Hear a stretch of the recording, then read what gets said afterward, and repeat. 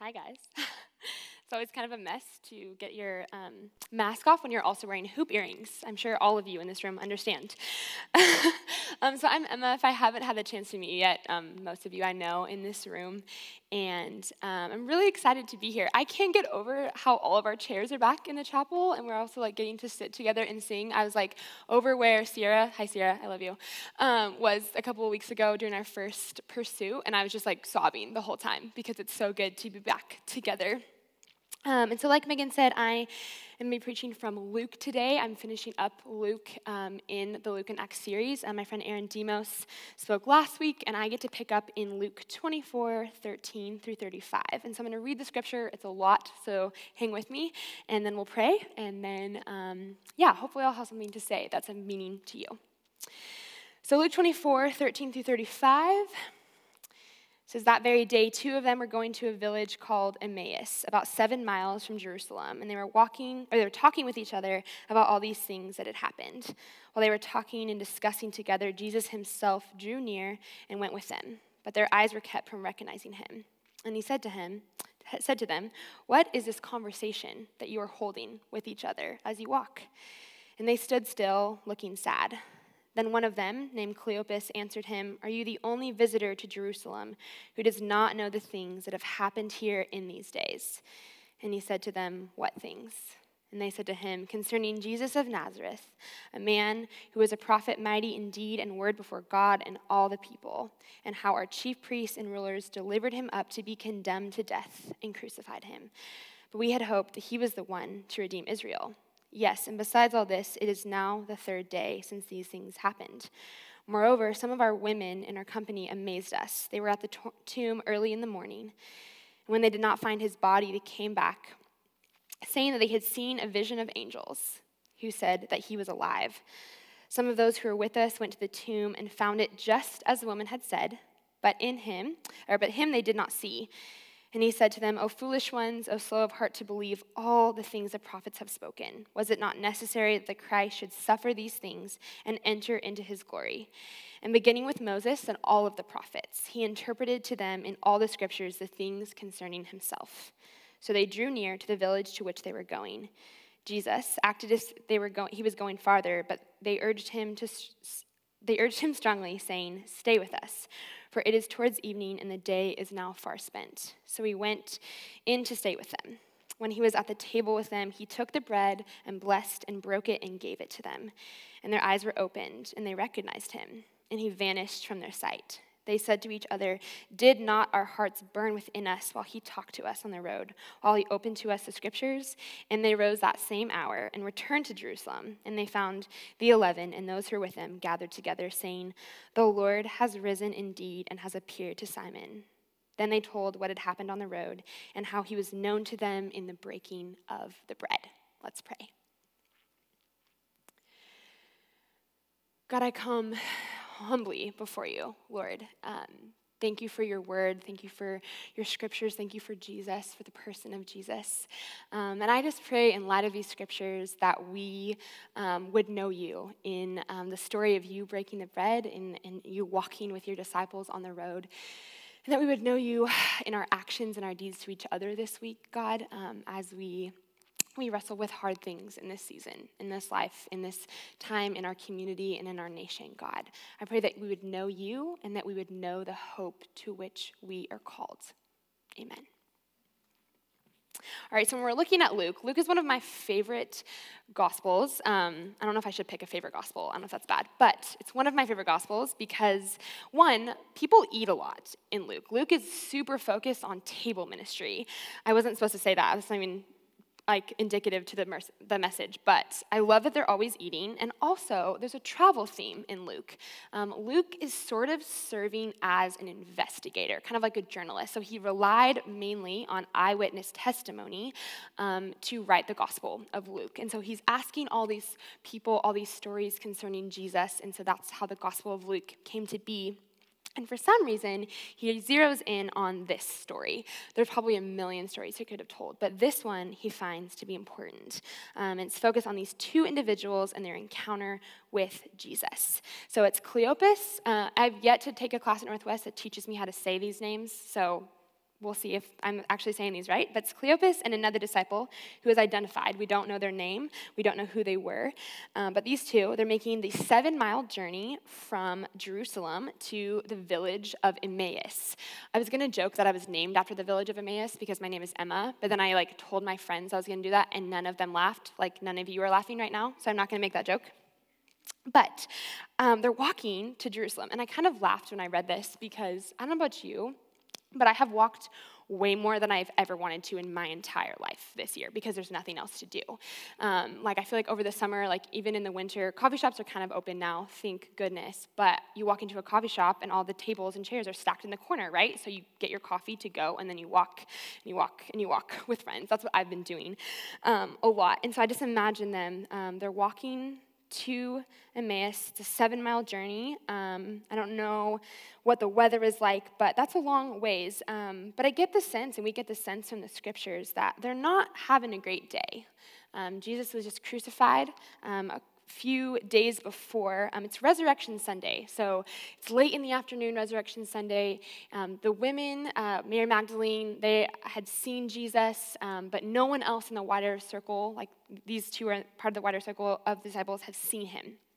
And so um, they're walking, they're talking, they're communing with each other um, on the late afternoon, and because we know the whole story, you, we might expect them to be like holding their breath, right? And like leaning on the edge of their seat um, because we know that Jesus is about to appear to them and all is about to be made okay again.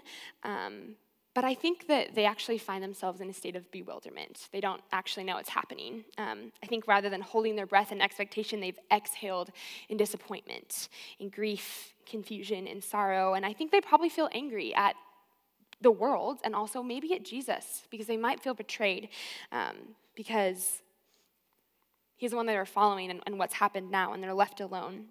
Hope has seemingly disappeared and it had been because it had put to, been put to death two days prior. And so I can't even imagine the war going on inside of them against despair and against hope. Um, little silver linings of like, okay, these women said that they saw them. They didn't believe the women, go figure.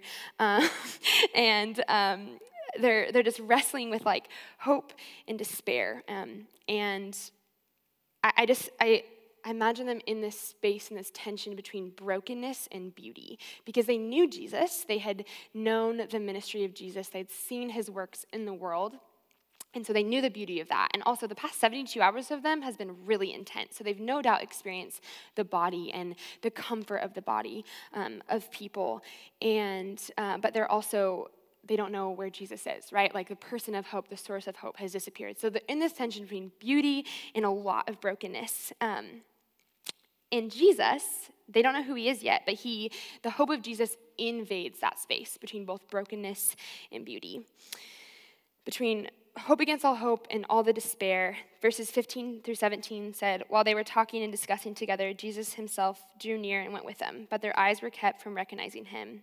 And he said to them, What is this conversation that you are holding with each other as you walk? This echoes of where two or more are gathered, then that's where the Lord will be. Um, that's written later uh, in, in the epistles, I believe. Um, Jesus obviously, he knows the answer to those questions, right? He doesn't ask questions because he lacks answers. He's Jesus, he knows. Um, but he is aware of their sadness and their confusion and their own questions. And I, he just gives them space to process. Um, he gives them a chance to unburden themselves of all that's been weighing them down. Um, and they don't know it yet, but hope is accompanying them on their journey. And so the very first thing he does is he holds space. He doesn't invalidate or refute our pain. He just asks, What's going on?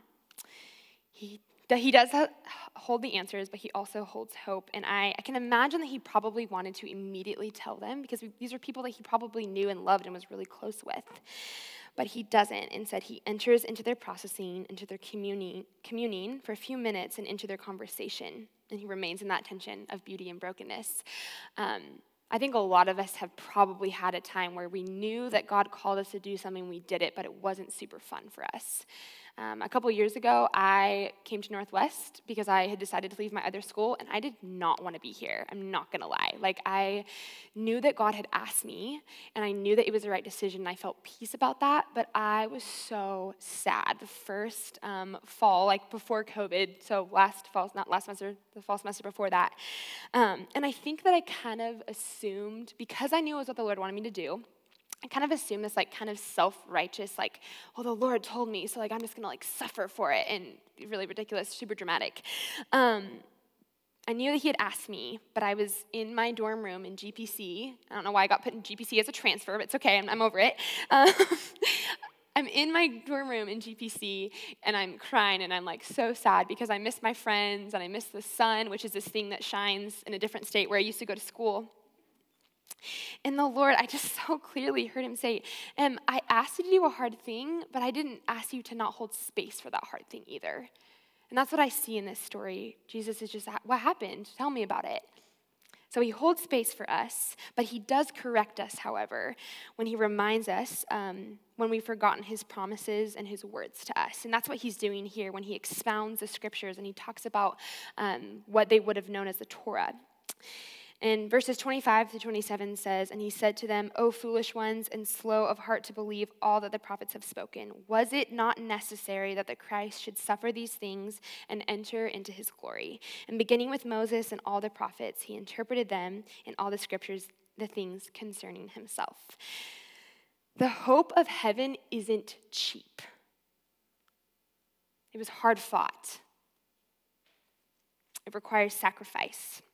And so as they walk and they talk, Jesus teaches these things about concerning himself. And it says he expounds the scriptures to them, and to expound is to kind of like set in front of and kind of let it speak for itself, but also present it. And so he explains, he teaches, he lets the events of the past several hours in the text speak for themselves in conjunction with each other. He's connecting dots for them. He, um, his words are steeped in the Old Testament. His teaching is perfect and incomparable, and is explaining to them the connection between what they have heard from the scriptures and what they have seen in, in the past like 72 hours. He is reprimanding them, but I also think um, it, while simultaneously he's reprimanding them, but he's really calling them to a richer, realer, and more authentic type of hope than the hope that they had in the moment on the road. You and I have experienced, I think, several forms of cheap hope lately. Do you guys remember 15 days to stop the spread back in March of last year? Yeah, that was cheap hope. I yeah, that was sad. Um, but this is not the type of hope that Jesus brings, and he shows this by tracing a line back through history. This type of hope isn't false or cheap, and it's proved by Scripture. There's a certain foundation and a certain concreteness about it, and they should have known, right? He could have he could have been way harder on them, I think, because um, they were disciples of Jesus. They knew the what what, the, what Jesus was about. They knew what he was teaching the entire time during his ministry. But he reminds them of what they have been told, and they don't even know who this dude is. I don't know who they thought he was, um, but he he gives them one hope that kind of points to the future. And so, if we go back to verse 21, um, I just found this phrasing um, interesting. It says, They're speaking to Jesus in the conversation, and they say, But we had hoped, past tense, that he was the one to redeem Israel. Yes, and besides all this, it is now the third day since these things happened. We had hoped. It's in the past tense. I know that I've had some things and some conversations running through my mind of things that were in the past tense that I no longer feel like I have hold on currently or in the future. All of their expectations, their hopes, their dreams of Jesus being who he said he was and who he had seemingly what, what he was going to do had vanished before their eyes. So hope, it feels like it's pretty in the past. They don't know where they're going to go moving forward. Yet, in reality, they had known hope all along. They had known the hope before Jesus was crucified in his ministry um, as he's walking the earth. They unknowingly, currently in their present moment, are walking with hope um, in the present, and hope is about to be revealed to them within the near, near future in the next few hours. This hope is living, and it resides in the past, present, and future tense. So it's true during his ministry. It was true even in the days before the resurrection because of what had been foretold in the scriptures. And it was true for the future when he broke bread. The hope that he offers is living, it's always working, it's always moving, something's always happening. It's bubbling up. It's like the kombucha that my roommate's brewing right now in our kitchen. There's always something going on over there verses 30 through 31 says, When he was at the table with them, they're, they're at um, a house, presumably in, in Emmaus, he took the bread and he blessed it and broke it and gave it to them. And their eyes were opened and they recognized him, and he vanished from their sight. So interesting. When you look at the table ministry of Jesus, I always kind of think of him as like the homeless host because no one's ever at Jesus' house when they're eating with him. However, he always takes on the role of host at the table, um, as was like according to Jewish customs. There's things there you can like go back and research um, because I'm a nerd, but uh, he always takes the role, the role of host when he's breaking the bread. And this meal is obviously indicative of communion. It's not just dinner um, for him, and it's, it's um, reminiscent of the Last Supper that he had had with the, tw- uh, the 12 in the upper room a few days before. And it's, but it's no longer symbolic of his suffering, but it also points to the future as well, to the future eschatological celebration of the kingdom, of the meal that we're all going to be at one day. So, at the intersection of the physical breaking of the bread and the supernatural revealing of his identity, the hope that they once held in the past is launched into the present, into the future tense. It's no longer something of yesterday, um, it's no longer old news. It's, it's now, it's here, it's living, it's for the future. So, the explanation of the empty tomb, which is Jesus, is before them, and it's pointing to further fellowship, nourishment, to better days, and to eternity. I can't imagine how emotional it must have been for them to realize who was sitting in front of them. Um, they were sad. They had a really rough week, a really rough day. Um, and they've been talking with a stranger who knows all, knows all these things and is, is teaching them. Um, and all of a sudden, as he's breaking the bread, something supernatural and also physical happens, and they realize that it's Jesus all along. Um, and then he vanishes. And I just can't help but observe that when Jesus had disappeared from his death on the cross a few days before, hope had been lost. But when he disappears in front of them this time, hope isn't lost. It's, it's, a, it's a, um, abounding. That's what I was looking for. It's running rampant all over the place.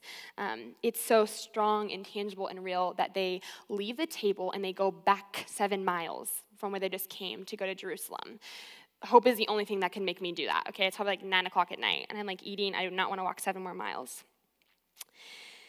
And I came across this um, just in thinking about hope and studying hope in this passage. I came across this uh, quote from Eugene Peterson from his book A Long Obedience in the Same Direction. And he says, Hoping does not mean doing nothing. It is the opposite of desperate and panicky manipulations, of scurrying and worrying. And hoping is not dreaming either. It is not spinning an illusion of fantasy to protect us from our boredom or our pain. It means a confident, alert expectation that God will do what he said he will do. It is imagination put in the harness of faith. It is a willingness to let God do, his, do it His way and in His time. So I was preparing for this message, and um, I, all of us who are speaking uh, meet with a professor to go over our message. And I had um, Dr. Wisemore, most most of us just know him as Jack, um, was meeting with me, and I was talking about hope, and I'm like, okay, like this, this is like what I want to say, and this is what I want to do. And he said, okay, um, think of someone who in your life has lost hope, and think about them as you're writing this message. And I was like, okay, I can do that. I want to be a pastor, so I'm naturally, I'm like, okay, I, think I know this person, I know this person. And then I'm sitting yesterday working on this, and I was like, Emma, that person is you. Like, yes, it's the people around you, but you're the one that's lost hope a lot in the past year. You need this message. And um, man, I, I need a living hope. I don't know about you guys. Uh, I need to know in the midst of the beauty and the brokenness of my own life that my hope is not false and that I can depend on it for all of my days in the past, in the present, and the future. And in this season, you and probably uh, me and probably you too have exhaled, we've exhaled in disappointment. And I've been walking around in circles a lot of this year. But I don't want to leave my hope in the past tense. I don't want to rely on, on statements. I don't want you and I to rely on statements like, well, I had hoped my parents would stay together, or I, I had hoped that my senior year wouldn't be in COVID, or I had hoped, I had hoped, I had hoped. I want to hope. I want to know that my, my hope is in the future ahead of me, steady, that I'm running into it every single day, even if I don't know what it's supposed to look like for me. And I think the biggest lesson that I've learned in my life, in the narrative of my life, in the past year especially, I think I'm just finding words to it now, is that beauty and brokenness coexist together in this life. They don't cancel each other out. Um, it's going to be like that on this side of heaven, on this side of the eschaton. Uh, but that's where living hope invades. It, it lives in this space between beauty and brokenness. And I think the world would tell us that we have to believe one sole thing about something, that we have to categorize something as good, as bad, as woke, as canceled, who's on the inside and who's on the outside. But hope, without hope, we're never going to be able to wade through those waters. And I think the very first time I ever experienced hope in the middle of beauty and brokenness was when I was, I was giving a eulogy um, for a family member. And um, this family member was someone who I loved deeply, but who had also hurt me really deeply. Um, so it was all the more complicated. Um, and I remember sitting on that stage in front of people that I knew and people I'd been raised with. And I, and I couldn't just talk about the beauty and I couldn't just talk about the brokenness, but I did have hope that there was better days ahead and there was hope in spite of that situation and that person. It's really easy for us to look for heroes and villains and to deem people as being so, but life is so much more nuanced than that. There's beauty in me and there's brokenness in me, and there's beauty in you and there's brokenness in you. The hope of Jesus is a thing that we have to let invade our souls. And I really think that's where those two on the road to Emmaus were. They had seen the beauty of the kingdom and, and of all that God had done. But at the same time, brokenness is abounding. It's real, it's tangible, it's hard.